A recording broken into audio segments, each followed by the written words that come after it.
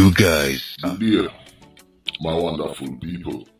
It's me again, the great, great, one more great countryman.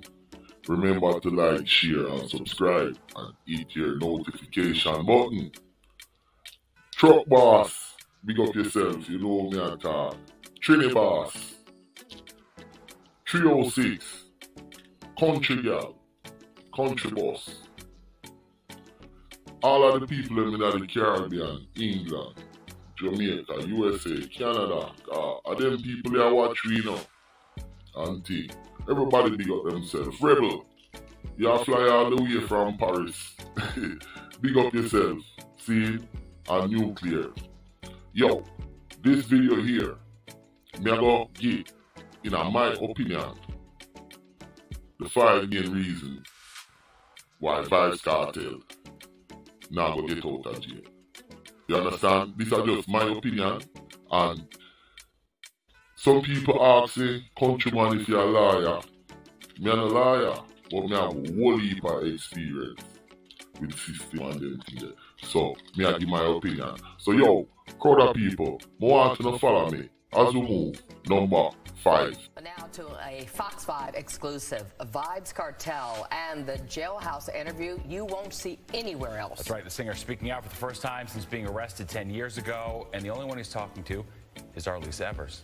A lot of stuff metal. It's like a dungeon, but it's instead of being in the cellar, it's in the attic. I'm actually in the roof. You say you're in a. Of course, I believe that. And to be totally honest, the system really wanted me thrown away. It was never about me being charged for a murder. It was about getting rid of Vybz Kartel, not Adidja Palmer, the person. Number five. The Fox interview is a wrong move. You understand? Within the interview, the stuff he's talking about, the government and the police them and the judicial system, that's a no-no. So in my opinion, this interview is a no-no. That's one, the number five reason why he not get out of jail. Let's move on to number four. Looking at the evidence, this case was about getting Vybz Kartel in prison and leaving him there. Human rights attorney Isat Buchanan tells me that much of Kartel's 2014 murder conviction, along with three co-defendants, was based on questionable evidence from a BlackBerry Torch cell phone with a SIM card. What was put before the jury was evidence that we do not know the how if it is authentic but certainly, what we do now know is that there was tampering of that cell phone. Vybz Kartel's attorney says that evaluation came from a court authorized British digital expert flown in from the UK. He believes that, along with what he says are violations of Kartel's constitutional rights, earned him the chance to appeal the conviction to the UK's Privy Council, similar in power to the United States Supreme Court. Number four, that I'm liar. And that goes along with the thing with my appeal. Because as you hear what the lawyer say, them appeal on the fact that his constitutional rights was violated. I'm laughing, but it is not funny. This lawyer is ripping this young man off. I'm not gonna say ripping him off, but he's taking the wrong approach. There is no way a torch Blackberry phone and a police take a phone home is going to be a constitutional rights. Constitutional rights have to do with unlawful arrest. Those are your constitutional rights. My right as a citizen of Jamaica, we have the right for free speech, the right for whatever that's in the constitution, the right uh, to be innocent until proven guilty. So when we go in front of a court, we're, we're still innocent until we're found guilty. And then if the, the process in which you are get arrested, the rights was violated or wasn't administered in the right way, then that's a constitutional right case. So what the lawyer should have done is see the arresting records and see how that process came up. You understand? And then you would tackle it from from the treatment if the police did the right thing. Because to be to be honest, in Jamaica, where we know the police them not go by the books. So I'm gonna say if a people constitutional rights has been violated. You understand? You see it every day in Jamaica. Now, why is he not doing them kind of cases? Because you have a lot of unlawful arrests. You have a lot of unlawful seizure. Uh, all the police stop you. Stuff like that. You understand? And, and, and you have a lot of those cases there. So those cases would constitute a constitutional uh, lawyer like this man right here. But he's not doing those cases. He's doing Vybz Kartel case called Vybz Kartel worth six million dollars US, yo. He's really rich.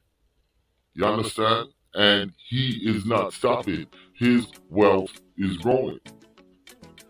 So this is definitely a feeling tree.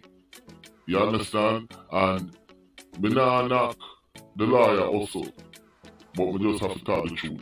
Yo, let's move on to number three. No, this is number three.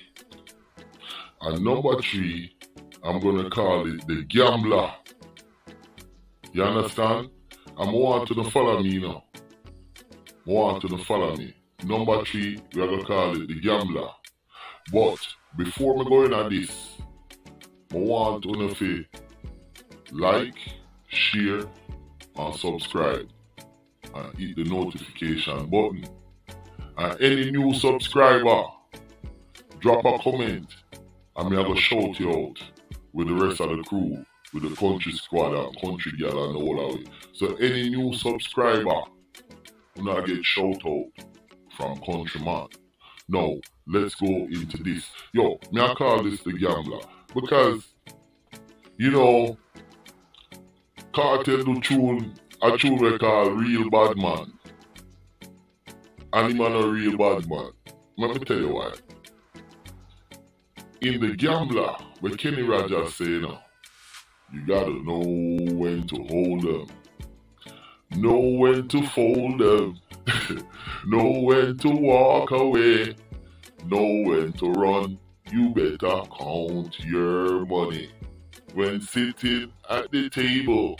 So listen, this dude here, him should have take a deal. He probably thinks because they don't find nobody. That's why he must say him not do it. He might not shot nobody, but it is like him now understand the concept of the law. You understand? If, if, if you order somebody, if you tell me if you go dash it, that paper about there, and me follow your order and that paper bound to get dash way, you're responsible.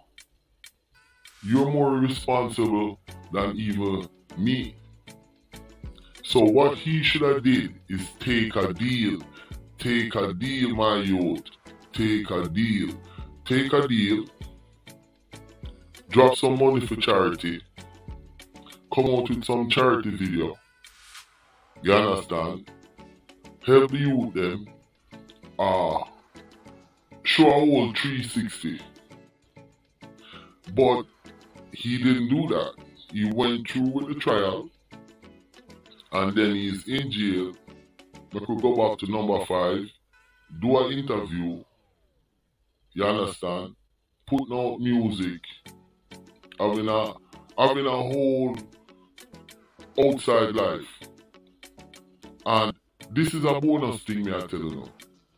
The way all Vybz Kartel are doing time, you do not do time like that, especially if you're doing long time.